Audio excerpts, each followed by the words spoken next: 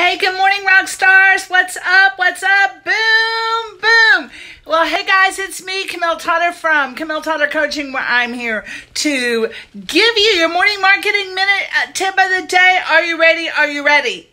The key is stop sharing. What am I talking about? Listen, when I'm talking about your Facebook timeline, when you share on your timeline, it disgrades everything you're doing. It's going to lower your engagement, lower your social reach. So, you cannot share anything about your timeline on your timeline. Your timeline is your gold mine.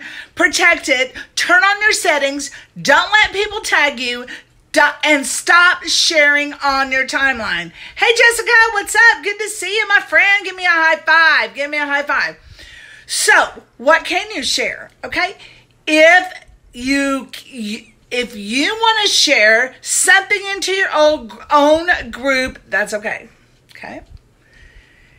Sharing to other people group group groups makes you look cheap, so stop sharing.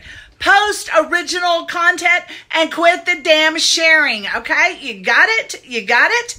All right, because it makes you look cheap, okay? When you share from Instagram, to your timeline, it doesn't look pretty.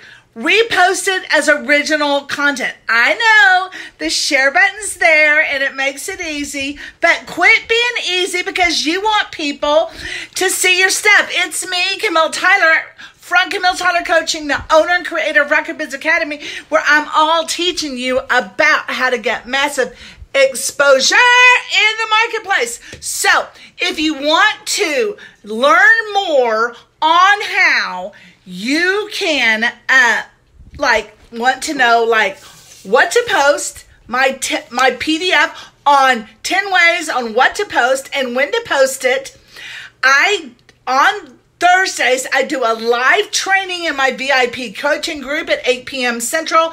And if you want to know what to do, $7 to get in, and I will show you exactly what to do at 8 p.m. on Thursday night, and that's tonight. So reach out to me, let me know, but stop sharing.